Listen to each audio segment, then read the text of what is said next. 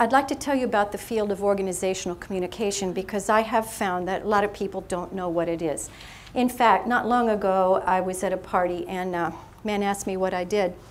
Or he knew I had a PhD and he says, What's your PhD in? And I said, uh, Organizational communication. And he goes, Oh, public speaking. We don't need that. We, we do that.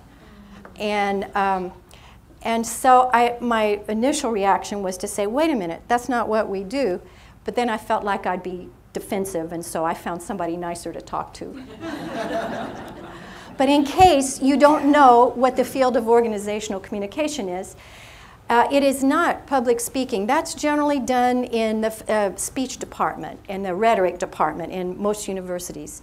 Your writing, communication in writing, is either done in English departments or sometimes there's a business writing course. Organizational communication does everything else.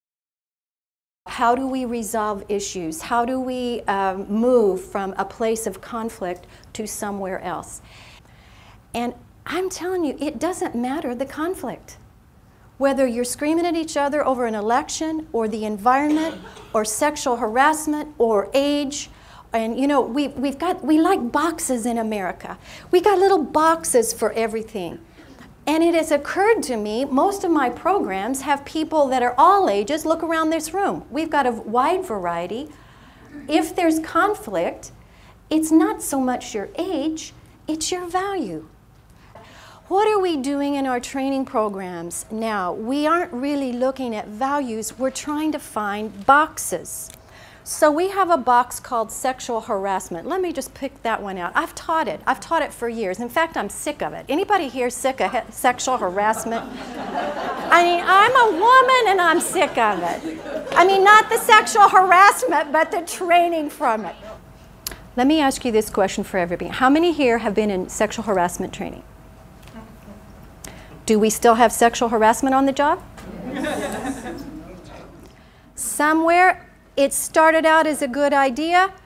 It, it was, you know, we, where, whatever um, strides we made, we've made them in that. What we're doing now is no longer sexual harassment.